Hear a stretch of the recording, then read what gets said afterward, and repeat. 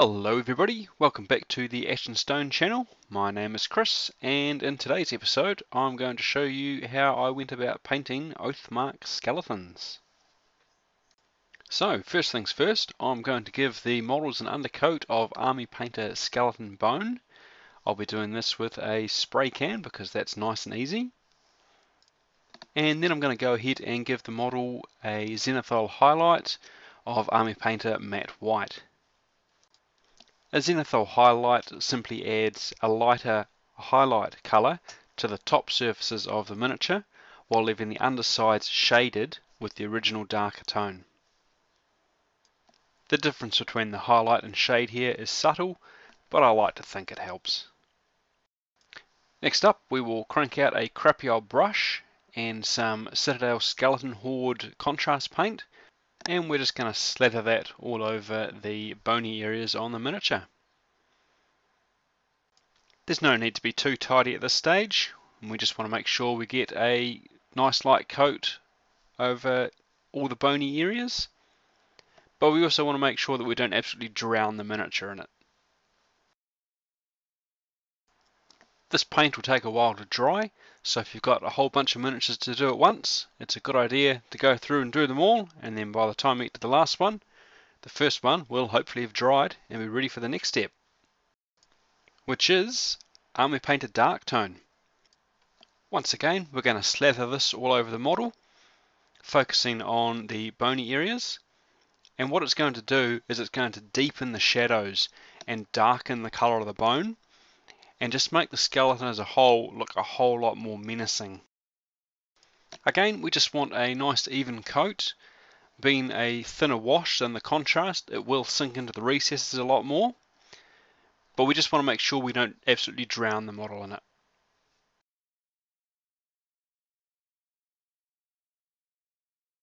Next up is Vallejo Iraqi Sand. And what we're going to do is give the model a light dry brush with it which will pick up all the high areas and add a nice little bit of highlighting to all the details.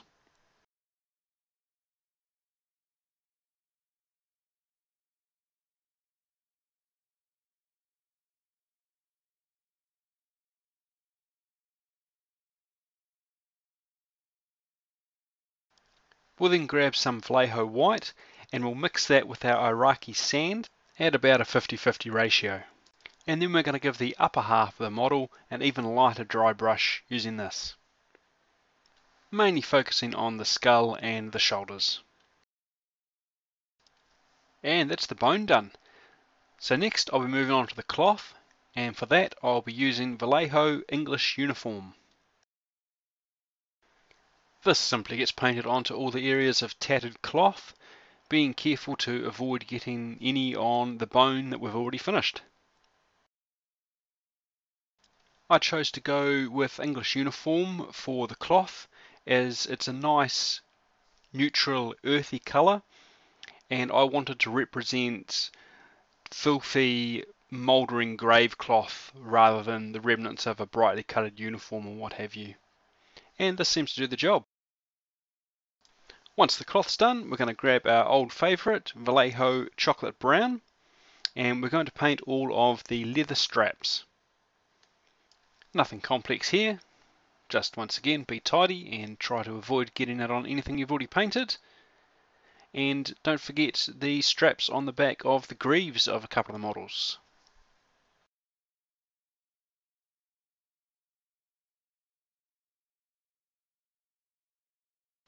A quick tip on painting straps and other thin areas on models. Uh, what you can do is you can paint the center of the area first and then move on to painting the outside. That way, if you've got a little bit much paint on your brush, that'll be put into the center of the area and not over onto areas that you don't want to paint. And then as you work that paint off the brush and move it towards the edges of those straps, you're far less likely to overload them and end up with paint everywhere. Next, I'm going to use some Vallejo Flat Earth to highlight the leather areas. I'm not going to worry too much about being particularly accurate here. All I want to do is hit some of the high areas on the belt and across the shoulders, maybe a little bit around the ribs. If you've watched my previous videos, you'll know I like to then hit the leather with a highlight of dark sand, although in the case of the skeletons, I've chosen not to do that. The reason is I want to keep the contrast between the leather straps and the bone nice and stark, and I feel that adding that dark sand layer to the leather is going to blur them together too much. So we're going to avoid it in this case. Once we're finished with the flat earth, it's on to Army Painter Dark Tone again. And we're going to use that to wash all of the cloth and leather parts that we have just painted. Again, this just adds shading and adds to that dark menacing effect I'm going for.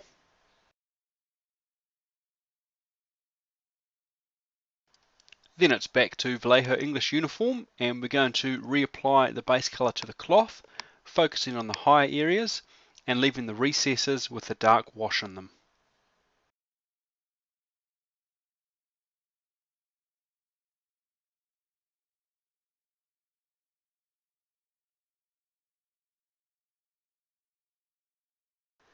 This will be followed up with a highlight of a 50-50 mix of English uniform and desert yellow that's going to be applied to the very edges and tips of the cloth.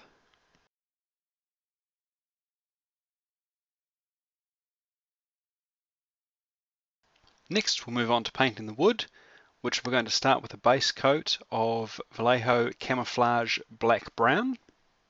And we simply paint this onto the wooden areas, in this case the spear shafts. Because I'm using a Model Air colour, it is quite thin, and it will take me a couple of coats to get a decent coverage. Again, I'm going for a dark colour here to stand out in contrast to the bone.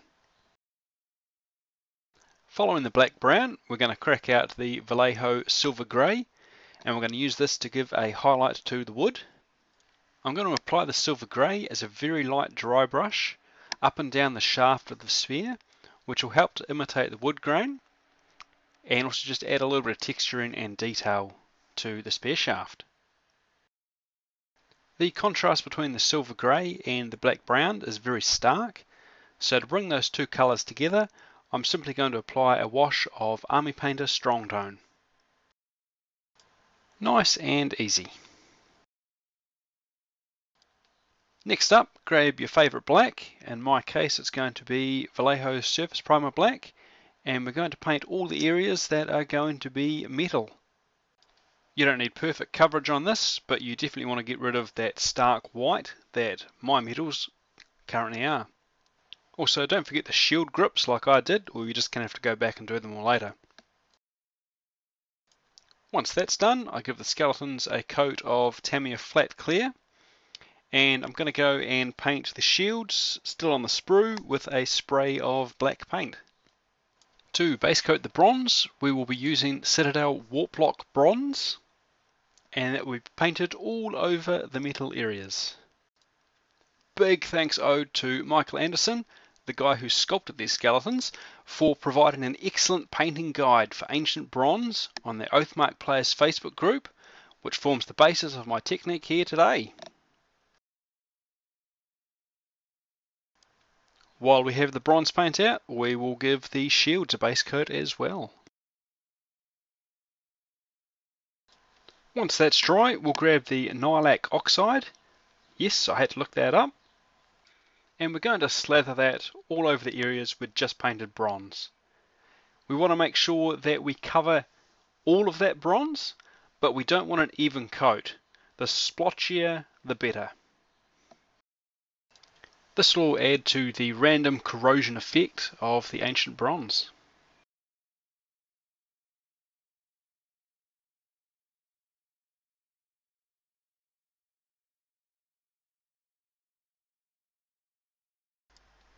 I'll paint the majority of the shield when it's on the figure, but for now I have to do the inside because I won't have access to it when it's glued to the arm of the skeleton. So we'll get the insides out of the way now and we'll worry about the rest of it later on. Next up we're going to use Army Painter Green Tone and we're going to apply this in random areas on the bronze. We don't want to cover the entire surface, just add random splotches here and there. This is going to add more random mottling to the surface and just add in another tone as well.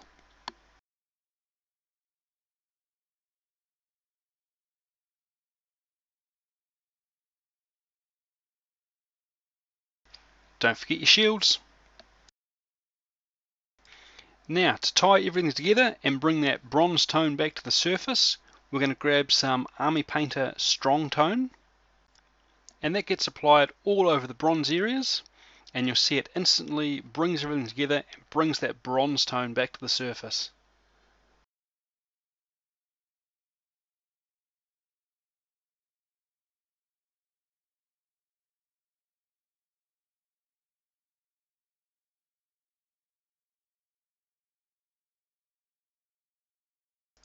I then go through and base everything uh, if you want to know more about the grout for the bases, I did do a video earlier. I'll chuck a link somewhere for that.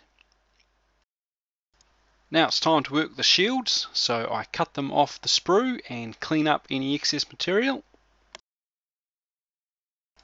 Then with a drop of super glue, the shields are glued onto the arms of the skeletons being sure to position them carefully and hold them for a couple of seconds for the glue to stick.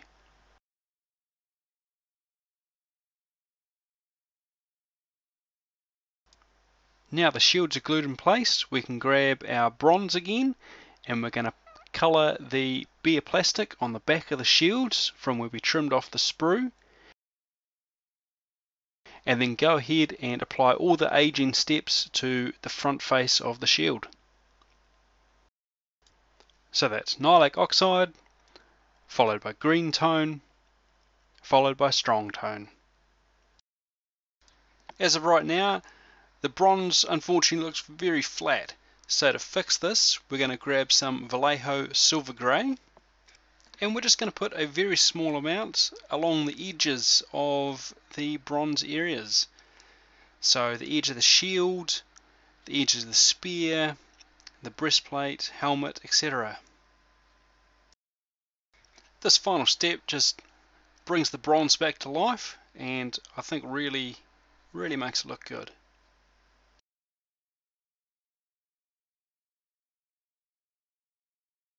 So, bonus guide. Here's how I did the banner.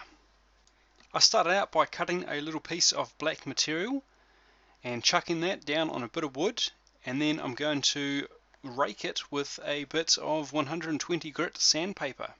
And as you can see, that's tearing some of the fibers and opening up holes and tearing chunks off and really giving this piece a ragged appearance. So just tear at the cloth from different angles and at different places until you get a shape that you like the look of. To attach it to the banner bearer, I'm just going to use a little bit of super glue, which I'm going to stick to the cross shaft of the standard, and then simply press the material into the glue. You'll want to hold it for a couple of seconds, and make sure you don't get your fingers stuck. And there we go. I then glue the banner down to the shaft in a couple of places just to make sure that it's nice and secure. And then I'm going to put a whole bunch of watered down PVA onto the material which will soak that up and become hard. You may need to do this a couple of times to get the material to be nice and solid, but it is better to do it a couple of times than to absolutely flood the thing. I then grab some Vallejo Black Grey and dry brush the entire banner. After that I'm going to mix in increasing amounts of Vallejo Iraqi sand into that black grey to create lighter and lighter shades and go through and just dry brush the banner along the high points and along the edges to give it a nice faded look. And there we go, a nice and tattered looking rag of a banner. If we chuck a bit of white paper behind it, you can see all the holes in it. And here is the unit as a whole. So I do hope you have found something in this video useful. Thank you for watching and we'll see you next time. Cheers.